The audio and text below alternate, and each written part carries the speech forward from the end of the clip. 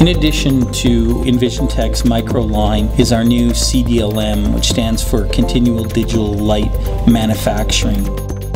This is a breakneck speed printer that has an incredible high resolution. The benefit of the new CDLM is the fact that you could grow a model in 10 to 12 minutes gives you an added level of professionalism and just sizzle to the presentation to the consumer to verify the fit and comfort of the design.